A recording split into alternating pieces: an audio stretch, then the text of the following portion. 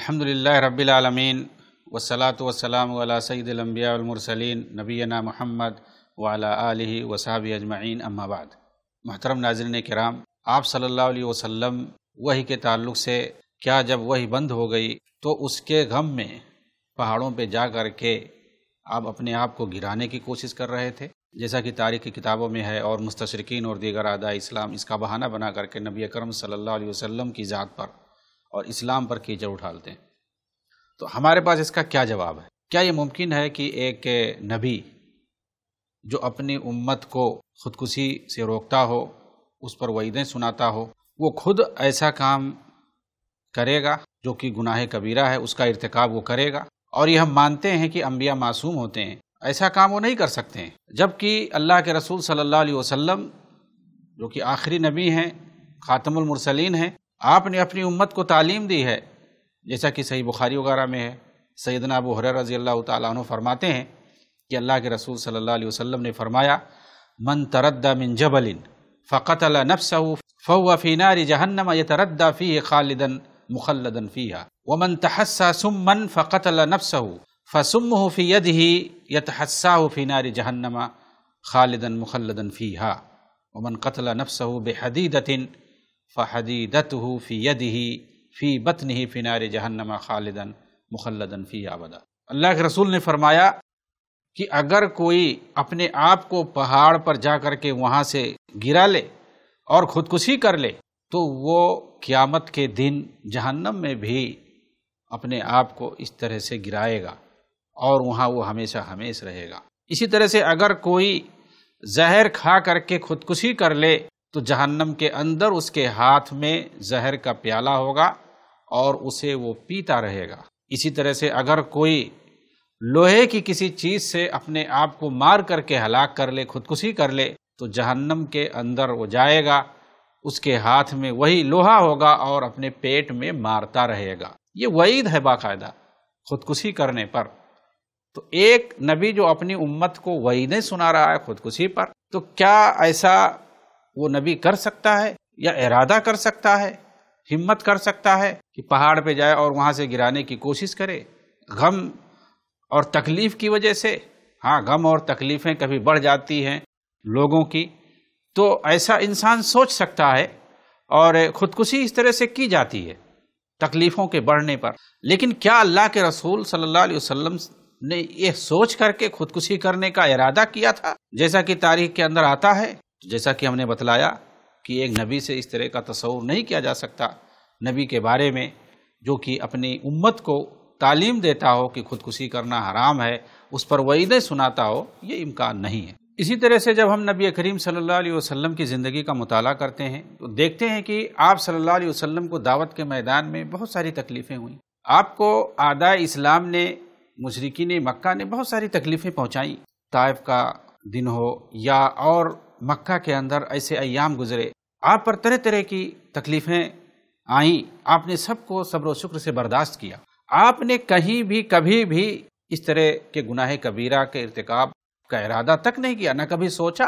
तो आखिर वही के बंद हो जाने से चंद दिनों के लिए आप इस तरह का कदम क्यों कर उठा सकते हैं? ये सोचने की बात। इसी तरह से अगर हम बफर्ज महाल ये मान लेते हैं कि ये वाक्य सही है। आपने इरादा किया था। जाते थे पहाड़ पर और गिराने का इरादा करते थे। तो यहाँ पर यह कहा जाएगा, इसका जवाब यह होगा, अगर इस वाक्य को सच्चा मान लिया जाए तो इसका जवाब यह होगा कि आपने इरादा किया। रवायतों में जो भी आता है, तारीखी रवायतों, हदीस के अंदर हो तो वहाँ पर यही आता है कि आप इरादा करते थे तो फरिश्ता आ जाता था। यानी आप इरादा करते थे, आपने अमलन वो काम किया नहीं। तो ये ऐसे ही है, जैसे सैदना यूसुफ सलाम के बारे में आता है कि वलकद हमत बिही व हम बिहा, लौला अन रा बुरहान रबी कदालिका लेनसरिफ़ान हुसू उस औरत ने इरादा कर लिया था और यूसुफ ने भी इरादा कर लिया था। अगर वो अपने रब की तरफ़ से दलील और हुज्जत देख ना लेते। हम इसी तरह से अपने नेक बंदों का दिफा करते हैं, बुराई उनसे हटा देते हैं। यहाँ भी अल्लाह के रसूल के सामने फरिश्ता आ गया। गोया आपने इरादा किया था, अमलन उसे किया नहीं। और बुराई का इरादा करना, किसी गलत काम का इरादा करना, ये गुनाह का काम नहीं है, जब तक कि अमलन उसे इरतकाब ना किया जाए, अंजाम ना दिया जाए जब तक। हदीस में आता है कि जब बंदा बुराई का इरादा करता है और उसका इरतकाब नहीं करता है तो अल्लाह ताला उसे एक नेकी देता है। लेकिन अगर बुराई का इरादा करता है और फिर उसे कर गुजरता है अमलन तो उस पर उसे एक बुराई लिख दी जाती है, एक बदी उसके लिए लिख दी जाती है। लेकिन अगर कोई नेकी का इरादा करता है और फिर उसके बाद उसको अंजाम देता है तो उसके लिए दस नेकी लिखी जाती है। तो यहाँ पर अल्लाह के रसूल ने उसे अंजाम नहीं दिया था। जिस तरह से कि हज़रत यूसुफ सलाम ने इरादा किया था, लेकिन अमलन कुछ किया नहीं था, इरतकाब नहीं किया था। इस पर इबन तैमिया अलैह तबसरा करते हुए इस आयत पर लिखते हैं कि यूसुफ सलाम के बारे में जब हम देखते हैं सूर्य यूसुफ के अंदर तो कहीं पर तौबा का ज़िक्र नहीं है। बहुत सारे अम्बिया के बारे में आता उनसे गलतियाँ हुई, लेकिन फिर उन्होंने तौबा किया। हज़रत यूनुस का वाक़ हो, हज़रत आदम सलाम का वाक़ हो, इस तरह से। लेकिन यूसुफ सलाम के बारे में ये नहीं आता है कि उन्होंने तौबा किया। इसे पता चलता है कि उन्होंने किसी गुनाह का इरतकाब नहीं किया था, या ऐसा कोई काम नहीं किया था जिसे गुनाह कहा जाए।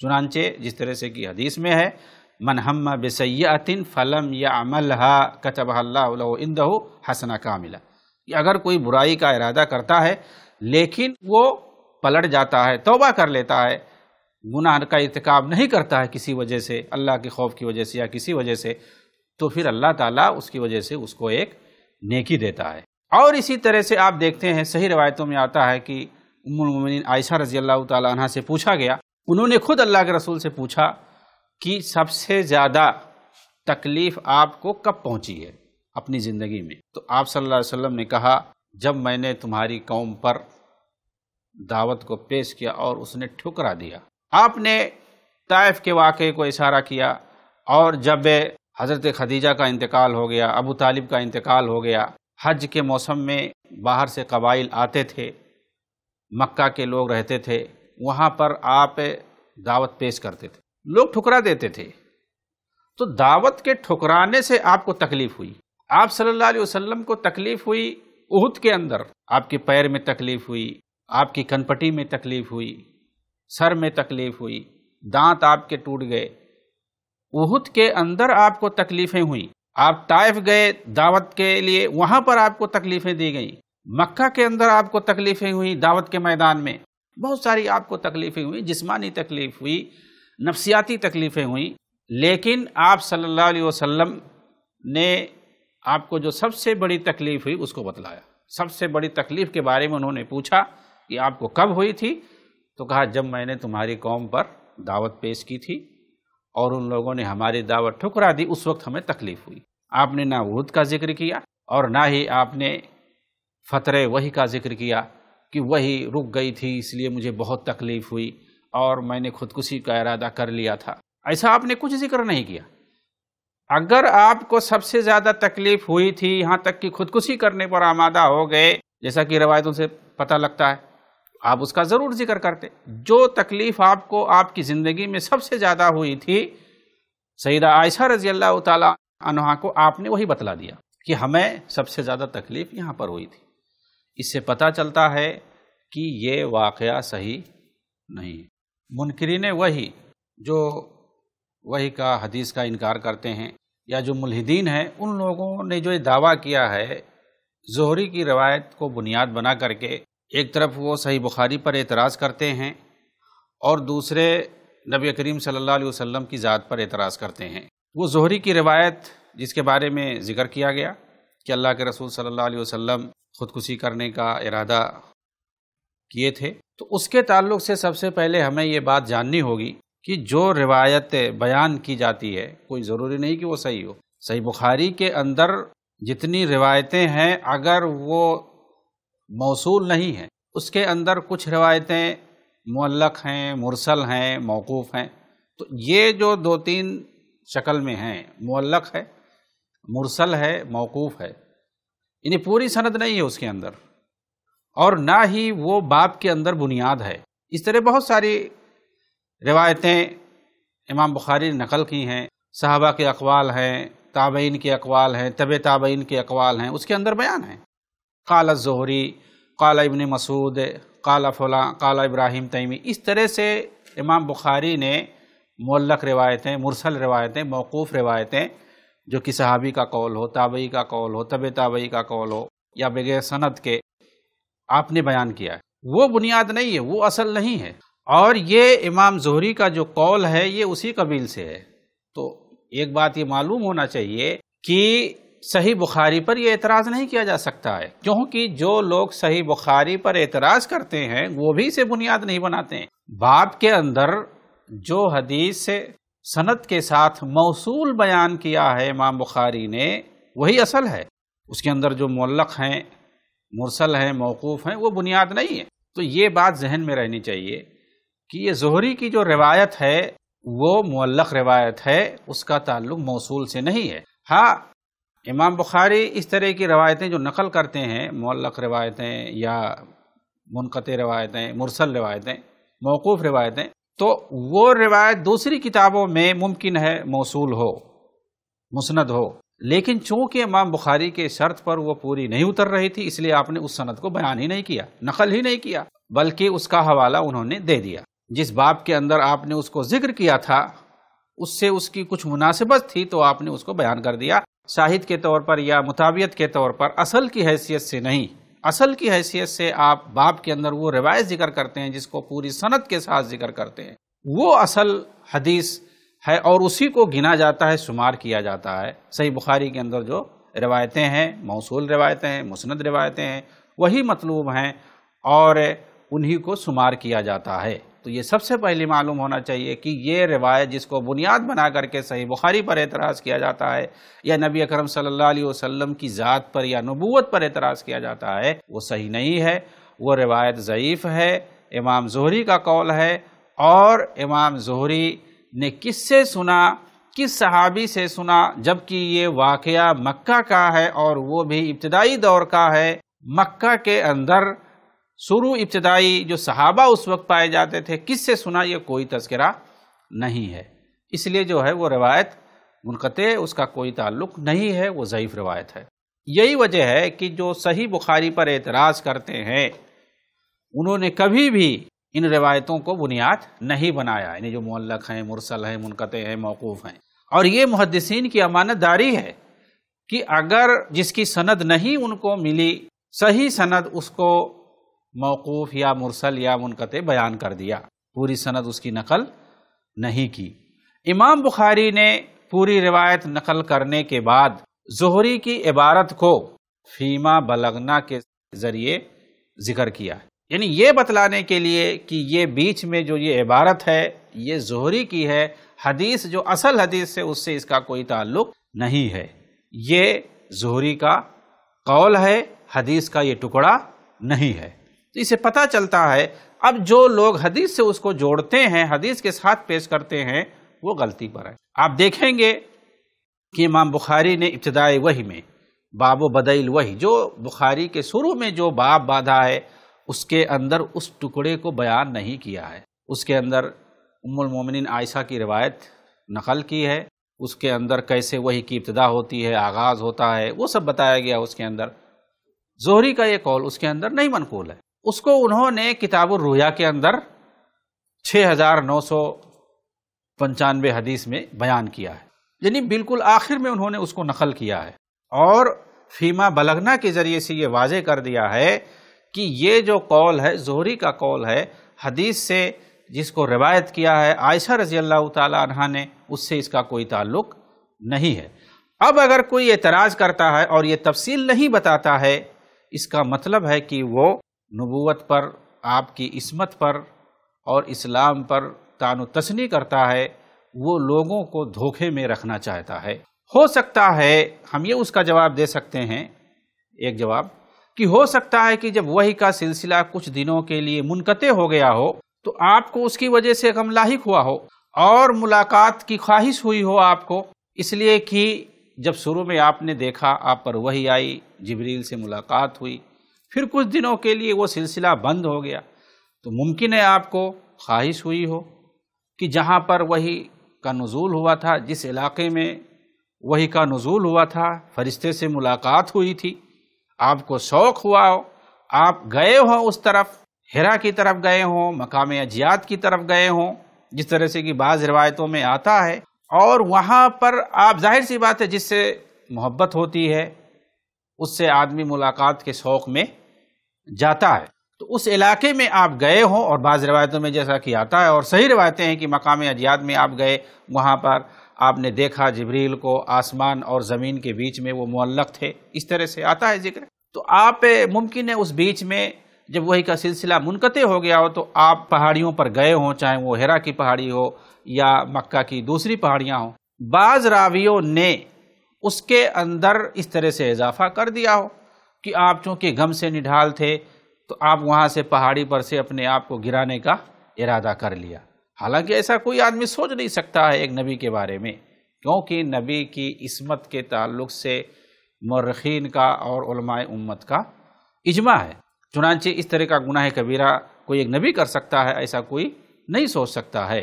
तो यह हो सकता है कि नबी करम सल्लल्लाहु अलैहि वसल्लम फ़तरे वही की वजह से ज़्यादा दिनों तक वही का सिलसिला बंद हो जाने की वजह से आप उस इलाके में जाते रहे हों शौक़ की वजह से तो बाज़ रावियों ने उसको गोल मोल करके बयान कर दिया।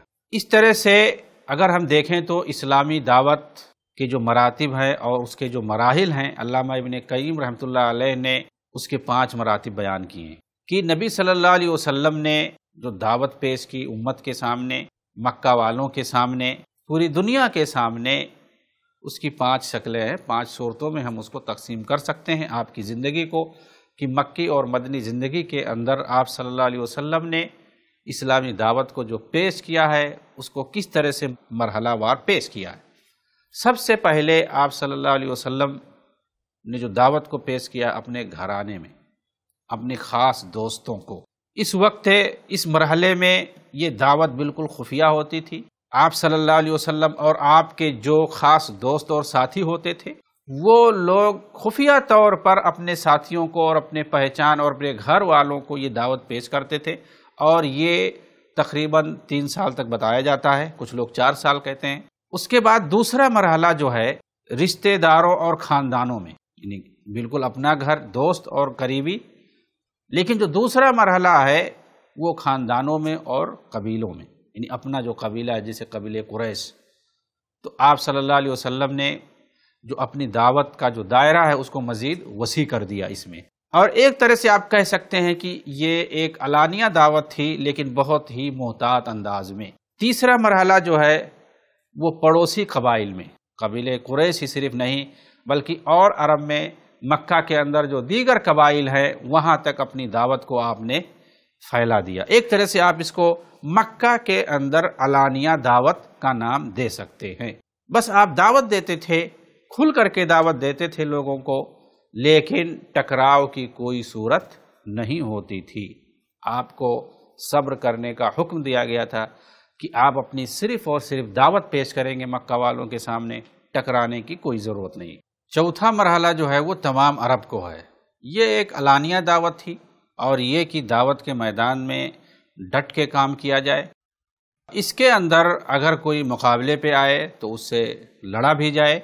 ये सिलसिला हिजरत से लेकर के सुलह हुदैबिया तक चलता है। उसके बाद जो पांचवा मरहला है, वो पूरी दुनिया यानी ये दावत जो है पूरी दुनिया के सामने पेश कर दी जाए और दावत के मैदान में जो भी आए उसका मुकाबला किया जाए। और ये सुलह हुदैबिया से लेकर के नबी अकरम सल्लल्लाहु अलैहि वसल्लम की वफ़ात तक, यानी ये आपकी आखिरी उम्र तक ये मरहला जारी रहता है। तो ये पाँच मराहल हैं इस्लामी दावत के। नबी अकरम सल्लल्लाहु अलैहि वसल्लम ने अपनी ज़िंदगी में मरहला वार जिस तरह से ख्याल किया दावत के पेश करने में जो उसलूब अपनाए, ये पाँच मराहल में आपने उसको दुनिया के सामने पेश किया। इसमें जो पहला जो मरहला है, खुफिया दावत जिसे हम कह सकते हैं तो ये जो खुफिया दावती मरहला था, इसकी क्या खसूसियात थी? आप सल्लल्लाहु अलैहि वसल्लम ने अपने ख़ास दोस्तों में, अपने घराने में सबसे पहले दावत पेश की, चूँकि ये बहुत ही अहम है। उस वक्त ख़ास ख़ास लोग ईमान लाए थे उसकी क्या खसूसियात हैं? लोग उस वक्त इनफरादी तौर पर दावत का काम करते थे। एक एक फ़र्द जो ईमान लाते थे, जैसे सैदना अबू बकर सिद्दीक हो गए, आप सल्लल्लाहु अलैहि वसल्लम हैं, हज़रत खदीजा हैं सैदना अली हैं, खुफिया तौर पर फ़र्दन फ़र्दन लोग दीन की तबलीग करते थे। यानी इनफरादी तौर पर लोग दीन की दावत लोगों के सामने अपने अपने दोस्तों के सामने पेश करते थे। इसकी ये खसूसियत है। अलल ऐलान पेश नहीं करते थे। अगर कोई आता था, पकड़ के उसको लेके चले गए, घर में ले गए और वहाँ पर समझा दिया, लोगों के सामने ये बात नहीं करते थे। दूसरी उसकी खसूसियत है कि उस वक्त पहले मरहले में, यानी तीन चार साल के दौरान, इब्तदाई अयाम में, इब्तदाई सालों में सिर्फ़ दो वक्त की नमाज़ फ़र्ज़ थी, सुबह शाम। इसी तरह से लोग छुप करके इबादत करते थे। अलानिया तौर पर खाने गावा के अंदर नहीं आते थे, ना ही अपने घरों में लोग इबादत करते थे, बल्कि छुप कर इबादत पहाड़ियों में जा करके करते थे। और वो भी दार अरकम में। वहाँ जो मुसलमान होते थे, सुबह शाम वहाँ जा करके अल्लाह की इबादत करते थे। ये खुफिया दावत, यानी पहला मरहला जो है शुरू के तीन चार साल, उसकी एक खसूसियत ये भी है कि उसमें अहले मक्का ने मुसलमानों की कोई ख़ास मुखालफत नहीं की। लोगों को मालूम रहता था कि ये फ़ला फ़ला मुसलमान हैं, लेकिन मक्का वालों ने कोई मुखालफत नहीं की थी। वो जानते थे कि जैसे पहले लोग दीन हनीफियत की तरफ़ लोगों को बुलाते थे, जैसे कि जैद बिन अमर बिन नुफ़ैल हैं, कुस बिन सायदा, उमैया बिन अबी सुल, ये सारे लोग गुजरे थे दौर जाहलीत में, और वो लोगों को दीन हनीफ की तरफ़ बुलाते थे। इलाह वाहिद की इबादत की तरफ़ लोगों को बुलाते थे तो मक्का वाले समझते थे कि वैसे ये लोग भी हैं, दीन हनीफ की तरफ़ लोगों को बुला रहे इसलिए मक्का वालों की तरफ़ से कोई किसी किस्म की कोई मुजाहमत नहीं उठानी पड़ी। खुफिया दावत के मरहले को इबन इसहाक वगैरह ने तीन साल और अलामा बलाजरी वगैरह ने चार साल बतलाया है। तो ये तीन चार साल का जो मरहला था, इसके चंद खसूसियात थे। जो आपको बताया गया, इस मरहले में कितने लोग इस्लाम लाए थे? ज़्यादातर लोग चालीस बताते हैं और बाज़ लोग पचास तक उसकी तादाद ले जाते हैं। जैसे कि सैदा खदीजा रज़ी अल्लाह तहा अबू बकर सिद्दीक रज़ी अल्लाह तु सैदना अली रज़ी अल्लाह तु जैद बिन हारसा हैं, उस्मान बिन अफ़ान है, ज़ुबैर बिन अवाम है, तलहा बिन उबैदुल्ला है, साद बिन वक़ास है अब्दुलरहमान बिन औफ़ हैं। इस तरह से सुहैब रूमी हैं, अम्मार बिन यासिर हैं, अरकम बिन अबी अरकम है, बिलाल इबन रबा है। बहुत सारे लोग हैं जिनकी तादाद चालीस तक लोग पहुंचाते हैं और कुछ लोग पचास तक ले जाते हैं। तो ये पहले मरहले की खसूसियत है। उस वक्त कौन से अहम सहाबा थे, सहाबियात थी, उनका तस्करा हुआ। इन आगे दूसरे दावत के जो मराहल हैं, आप अलैहि वसल्लम ने कैसे लोगों के सामने अपनी दावत को पेश किया, अगले एपिसोड के अंदर इसका तस्करा किया जाएगा। इंतज़ार कीजिए अगले एपिसोड का। वाखर दावाना अनिलहमदिल्ला रबीआलमीन वालकम वरहमल वर्क दीन की बात आम करने में आई प्लस टीवी की मदद करें। पेटीएम या गूगल पे के लिए हमारे नंबर्स पर ट्रांसफ़र करें। ऐसे ही और वीडियोस बनाने में हमारी मदद करें।